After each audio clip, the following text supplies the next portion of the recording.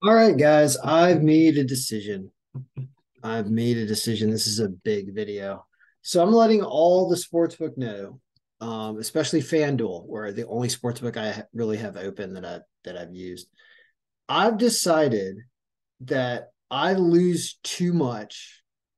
Um, I lose too much, and I'm staring at how to make money every day, basically, and how to do it and I think it's not allowed. I think I'm actually going to get my account uh, banned or restricted just because the sports books can do whatever they want. And I guess though it's about time. It's about time that that happens. Even though I'm a losing uh, losing wager overall lifetime of FanDuel by thousands of dollars. Like since 2015, I've lost thousands of dollars. Not not tens of thousands, I don't think, but like I've lost thousands of dollars. Um, uh, you know, more than a thousand a year. I feel like on average. Uh, so it's unacceptable to me. And I, because I'm spending all this time on this, I should be making money, but but I'm bad at betting. So I've decided that I'm just going to do what I know will make money mathematically and use the algorithms and they're going to ban my account. I'm going to tell you what I'm going to do because I, I mean, I guess they can do whatever they want. So they're going to see that I'm going to win all the time and they're going to then obviously ban my account what I'm going to do is sometimes called arbitrage betting, but it's going to be single in game arbitrage betting on the same site. Like I'm going to make it very obvious to FanDuel what I am doing.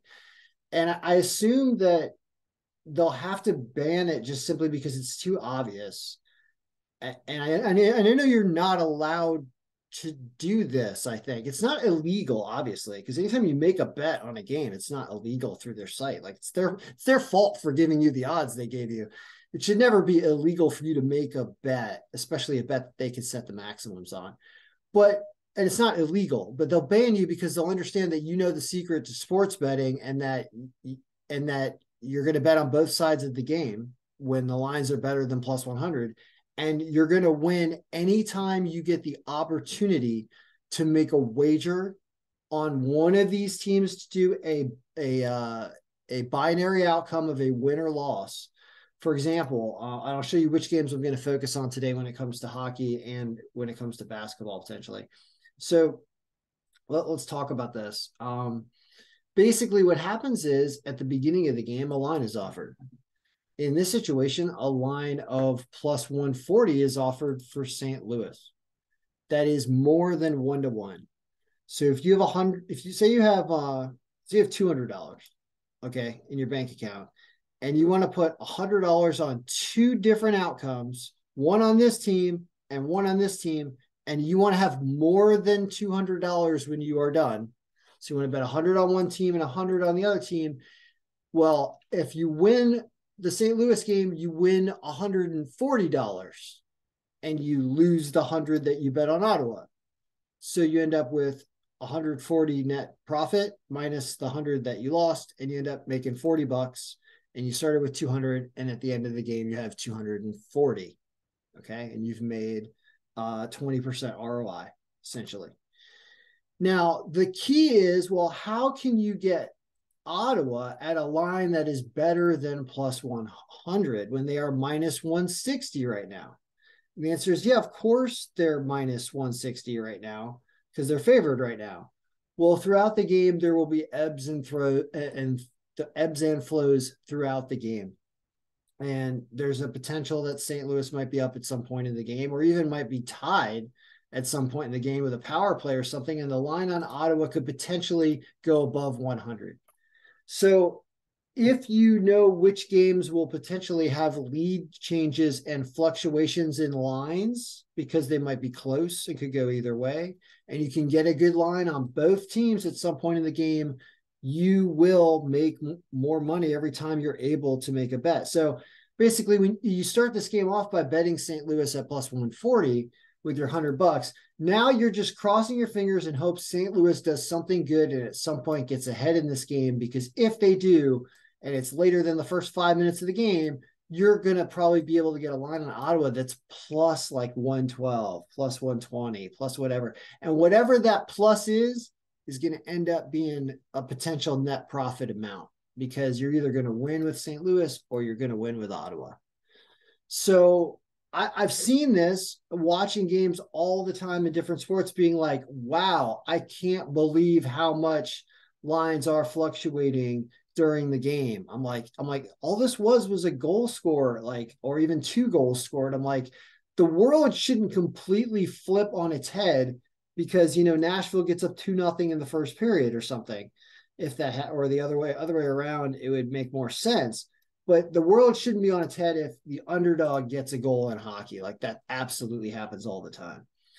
So you have to find situations uh, where you can get a positive line and you think things might flip. This this is obviously another one. Like you you, you want to do this on any game where you can get a big line on one team, and potentially that team would be ahead and the thing would flip, right? So you don't want to bet the Edmonton Colorado game at the beginning because there isn't any juicy juicy line yet. Nobody's gotten up one nothing. But as soon as somebody gets up one nothing, you or you wait and see maybe it's two nothing, you get the other team at a huge line, and then you hope the team comes back. So the only reason that the sports books might not ban my account is because technically there's nothing that says that a team that is up a goal is all of a sudden going to be a positive line later in the game when the other team comes back. That is obviously not a guarantee.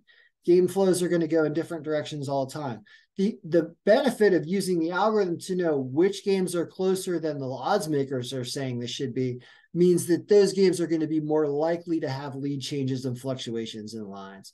So um like yeah, and it's also hockey. I also know it's hockey. Like you can see, you can't bet these games because the lines are not that wide. But apparently, you know, you bet Chicago and you hope they get up one nothing and if you can potentially get toronto to plus line but here it's actually more difficult for for this line to change because people understand if toronto gets down one nothing they're, they're still going to be minus 150 or something so you still can't bet it so what what ends up happening is maybe these huge games unless you're planning on a lead change here and a real fluctuation in line this is actually not a good one to do the the arbitrage essentially what I what I assume to be an unacceptable betting strategy from FanDuel's perspective because I mean i am gonna give you my results today with like a hundred bucks or something. I don't know. It's gonna go straight up um, for the most part because you're gonna get super juicy lines on certain teams at certain points in the game. So anyway, yeah, like like I am starting off the game Oh, it's Grayson that. Jeez. Um boy, and you can do the same thing kind of with over unders, and you can change the over under offered also. This is totally going to be not allowed by them. And I'm looking forward for them banning my account because I've lost so much money with them and so much time that I I am clearly going sports betting suicidal essentially which is I give up. I've tried. Now I'm just going to do what I know will work mathematically, and you'll see that and you'll ban my account because if everybody does it, you're out of business. And I think the only solution to this problem is you have to not have the lines fluctuate that much during the game. And they got algorithms doing that, which is literally taking in the money that people are betting on one team and the money that people are betting on the other team and the position of the game.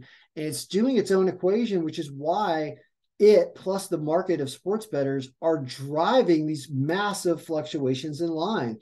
Like if Nashville gets up two nothing in the first period, you are going to see Minnesota at a positive line because it'll be a two goal lead. So it, it's you'll see it doesn't happen every game, but it happens enough games. And if you start at a plus 175 and they get up, right? Maybe you wait until the third period if they're still up in, in Minnesota's like plus 350 or plus 400. Then you've got both sides of it and you're getting at least, you know, 75% uh, percent of a unit. Uh, or if this is at like 340, you're getting three 3.4 times a unit, depending on who wins, and you don't care because you've got both teams. This has to be not accepted, but I'm fine getting my account banned at this point. I want to do something else with my life and I want, I mean, I, I am not going to use your service until you to like give me time off or something like that. No, I'm not going to do that. I'm going to show you that there is a way to beat you every single day. And you're going to ban me because of it. And I'm fine with that. That's that's a that's like a trophy that I can put on my mantle as I was banned from sports betting after telling the sportsbook what I was going to do, telling them that my algorithm's better than theirs, that their line fluctuations are going to be too distorted, and that I'm going to make money basically every day. So we'll start with it today. I'll give you the results at the end of the night. I think I've got 150 bucks in the account. So we'll go with that. We'll see what that 150 bucks is at the end of the day. And we'll also see how many different games I took advantage of. And we'll see how fast they ban me. we'll see that too. Because once they ban me, then I'm absolutely not doing videos unless people are paying me for the algorithms. Because I will not even legally like or I will not have a service that will take my bets. That's what I'm going for here. I want to move on in life. And so I may as well go out with a bang here and beat the living pulp out of them. So, what am I starting with? I'm starting with like, I'm going to do a bunch of games to show you how this works. Technically, I should try this, but man, but no, I said no because we need a fluctuation. So we'll do Nashville. That can absolutely happen. Um, Minnesota, although Gustavsson's good, see if he's going, but I'll try that one, and I'll try the St. Louis one as well because it's a pick of the day, and I and I think they might get off to a lead. The other ones we'll stay away from and we'll watch. What about college basketball? Where are we going to do this in college basketball? a sport where you're absolutely going to see fluctuations in lines when lead changes happens. How often does a college basketball game, when it's close, not go through a lead change at some point, folks? Think about it. A significant lead change too, not just like a half a point.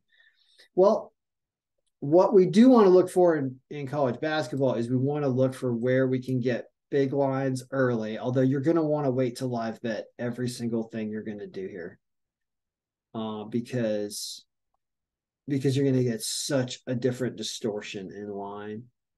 You're going to be able to get plus 200s and plus 300s on both sides of the game.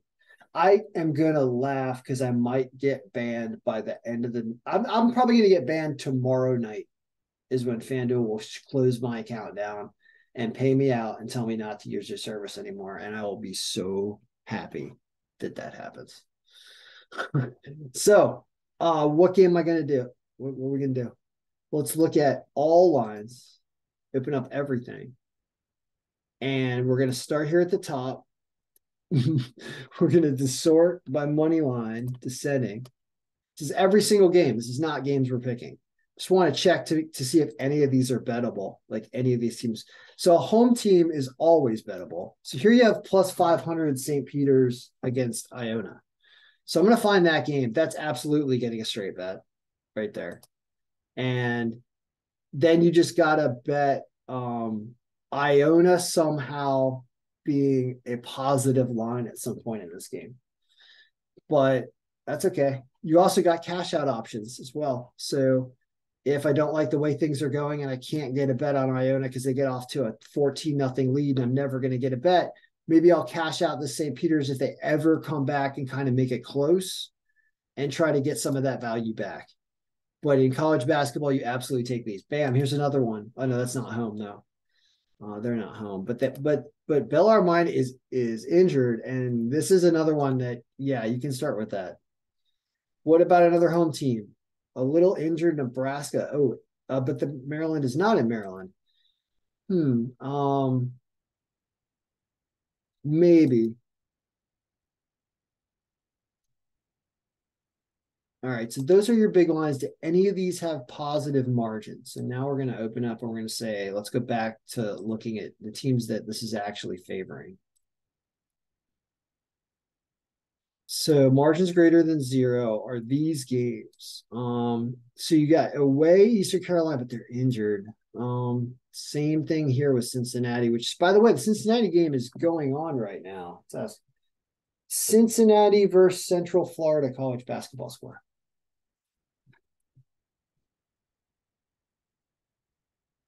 Uh, Cincinnati versus UCF college basketball score. Currently, Cincinnati is leading Central Florida 59 to 54 in the second half. Seven minutes left, though. So this is a great example. So I can start with this game. And the reason why is because Cincinnati is winning right now. Now I got the sports book on the phone, don't have it on the computer, but I'm going to go and I'm going to find right now Central Florida, for example, is absolutely going to be an underdog right now, down five. They're actually at plus 220 right now. Right. So what am I thinking? I'm thinking, I know this game's a super close margin. This is why the college basketball algorithm is so awesome because it's going to be right a lot. Let me explain why. So right now it's plus 220 for me to get UCF down five with seven minutes left. I'll take it. I'm putting 20 bucks. Sorry, I'm putting 25 bucks down on it. 25 to win 55. So I've just taken UCF. It's actually, yeah, it pays, I'm, I net $55 profit on that $25 bet if they come back to win. So what do I want to have happen? I want to have them in the last seven minutes at least come back to tie. Because if they come back to at least tie, then Cincinnati's line will go from right now, it's at minus 295. It will change to a positive number. And any positive number, I bet 25 bucks on Cincinnati. And if they come back to win, I'll net a little bit of money. And if Central Florida comes back to win, I'm going to net the $55 less the 25 that I just wager on Cincinnati, which will leave me with uh, $20 profit, right? If that happens, I think so right? 55 minus 25, $30 profit or I think I, yeah, $30 profit. Um, so we'll see. And I mean, I'll do, I'll just do it in the video right now and also talk about what other games, because I'm actually going to make this bet. I am, I am so going to be explicit with FanDuel, be like, all right, I made a bet. Like, there's no reason UCF has to come back. There's no reason Central Florida has to make this a closer game. That's where I'm gambling with my potential arbitrage wager, FanDuel. So tell me, is this not allowed? Because it is a gamble. I'm gambling that Central Florida comes back just enough for me to wager on Cincinnati. It's at the at the point at which I wager on Cincinnati, that's when it becomes something you want to ban me for, right? Because I know that I can't lose if I make any bet on Cincinnati if they're up money, if they're a positive line. So let's wait it out while we talk about other games because you know there's this is something that can happen in a few minutes. It's a five point lead. And I just want to show you what will happen because you're going to get cash out options too in the middle. There's, this is endless. So, do you want to take any of these games? No, line's not big enough yet. Well, what else is going on live right now? I'm just browsing for huge variations in lines. For example, IUP and Detroit Mercy. Uh, IUP is plus 480 and Detroit is this game is tied 33 33 at halftime. IUP's on the road. Where are they? Where are you at, IUP? Do I not have I hit the down here? So this is now uh now oh yeah, we need to sort by margin so we know how bad that game is. Um so what we're gonna do is we're gonna do back to margins greater than zero. And now, more sort options descending by margin. I'm just sick of losing all the time. So I just give up and I'm going to essentially do arbitrage because I, am just ready. I'm ready to not have the, the option of sports betting anymore. So anyway, 33 30. So they're plus 480. And th- that is uh, better than they were. They're also injured. So they're they're fighting Detroit hard. This is a college basketball game where anything can happen. Now, if they get off to a lead, it's still going to be tough for Detroit to be an underdog at any point soon in this game. So this is not a good opportunity yet. Um, I, I, I think what we're going to find is that the ranges of the odds need to be closer unless you know something about what the outcome is going to be. Um, so, for example, UNC and NC State, great example. Great example. So this game is going on right now. The other thing I like about this is, oh man, it's gonna be awesome when I get banned because I won't be able, I won't have the option of doing it. That's great. When you when they make it like you, when they make it, you can't do it anymore. Then then I, I I can't like accidentally cheat and do it because there's no reason for me. To, I can't I can't even bet, you know. And I like I like not being able to bet. I really want to not bet, but the only way I'm going to do it is by beating them and getting banned because that's a story that I'm I'm proud of. So let's talk about what to do in the NC State game here, right? So injured North Carolina State, where the worst strength of schedule is home and therefore a favorite. Love it. So there's so many conflicting factors in this game that you know this game is going to be filled with more lead changes than an old corroded battery. Is that a joke? I think that's a joke. I've been watching enough um, uh, Vice Grip Garage to kind of understand something about combustion engine vehicles. Uh, anyway, yeah, there's going to be a lot of lead changes. Lead changers. A lead is a lead a part of a battery? I think it might be. Um, or it's just somebody who's who's the first person dancing, the one taking the lead, right? Anywho, let's talk about what's going on here. Well, NC State is up 32 31, and they are minus 170 right now, right at the end of the first half. And UNC is plus 132 right now. Now they're plus 114. Yeah. I was hoping that maybe NC State would get like a three or five point lead going into half so that North Carolina could be like plus 200, but they're only plus 114. So I'm going to wait.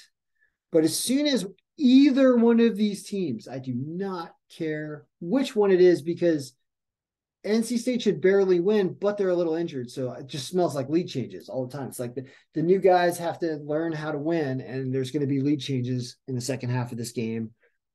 I mean, I can almost. Uh, what are the odds that there isn't a lead change in the second half of this game, given that it's a one point game at at half? I feel like the, the odds of it not having any lead changes are probably a hundred to one, something like that. There's only a hundred times that the team out of the gate never, ever, ever looks back in a game this close in the Battle of North Carolina. I mean, they're just thawing out the ice rink from the, the Hurricanes Caps game last night, and they're playing right now. So you just wait, and I'm going to set a threshold of calling it like 175. And as soon as one of these teams goes up plus 175, I'm going to bet that team. And then I'm going to sit and I'm going to wait until the other team comes back, and I'm going to bet. Uh, I'm sorry, then we'll wait till that team comes back, and then I'm going to bet the other team when their line goes above won anything basically. But you, you then have this craft of like, if it's if all of a sudden things really shift, you know, say North Carolina goes down like like five or six and they're plus 220 and then all of a sudden immediately after that they come back and take the lead. And then north carolina state all of a sudden becomes like 140 but it's moving up faster. Do you wait or do you just take it at some point. You definitely just take it at some point. But the question is, how long do you have to wait in the game to do that, to know that you are securely going to be able to secure a profitable wager at some point? I am so excited to see how fast they ban my account because this is as obvious as can be. I am publishing a video telling you guys I'm going to bet this way.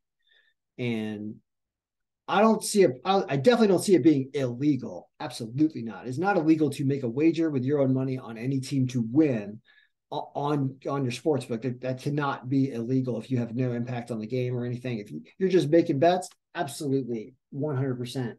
It's it's legal. It's just it's it's frowned upon because it's. I think it's a secret of winning, and and how you can always beat them because of the line fluctuations. So that that's another game I'm going to be paying attention to and I'm I mean, so so how do we lose, right? We lose if I'm wrong and there's never a fluctuation, or if I don't pull the trigger on on the the secondary bet to profit at some point. I wait too long trying to get a good line and then I lose my opportunity. Which you still don't lose your opportunity entirely. You always can hedge it by betting something, even if they're minus 110. Even though you might be a small loser if you get that team, you still have the opportunity to hedge slightly. All the time. Uh, so very interesting stuff. I, I really don't know how fast they're going to ban me, but I really think they will. I haven't really looked into the super detailed explanation of what arbitrage is because I've heard about people doing it across different sites. If you do it on the same site, yeah, they're going to monitor your activity and they're going to see you're doing it this way. And they're going to be like, well, he's going to win overall. So we're going to ban his account. Good. Just in the message you send me when you ban it, be like, listen, the activity you're doing while completely confined to FanDuel, we found to be arbitrage style. And we expect, you know, we, we don't like to honor those type of wagers because you know we understand that you know how this works and we don't want you to steal our money uh, every game by just by taking advantage of our crappy line fluctuations that are too broad our fault so we're going to ban your account i'm okay with that email i'll put i'll publish that email on my youtube be like yep see i was too good for the for the sports books and I don't think there's anything super, super duper special. I think I'm just figuring it out now. And I think I have a, an advantage using the algorithms to find these games that are going to be close and generally going to have lead changes. And generally, you want a game that generally has lead changes that are going to be broad lead changes. Also, you want one team to be up by 10 and the other team to be up, up by 10. That's the best kind of game to wager on because you're going to get massive, more massive fluctuations in line. So, is there anything else I want to talk about? Um, we have a bet open, right? I made a bet on UCF. They are down five, okay, with three minutes left. I haven't been paying attention. So we have to keep an eye on that game because we need UCF to come back so that Cincinnati's line gets hurt. And it's not doing that. So we might lose on our first one. So if they're going to ban me for arbitrage, what about when my arbitrage bets are bad? do you not they probably just ban you when they when you start taking a lot of money off them is what happens they're just going to look at your account like why is this person taking money oh they're betting both sides of every game like the most obvious thing ever that's fine i want to get good enough to do that and then get my account banned that's my goal so good luck everyone may all your picks be winning and may your accounts stay open if you want them to and may they be closed if you wish that they be closed because you win too much that's a fun way to go out sports betting too good for the sport I'd be happy with that. So we'll see if we can get there. And I'll let you know how it goes at the end of the day with the recap video of how all my arbitrage crazy bettings went. All right. Good luck. Now, your picks. Be winning.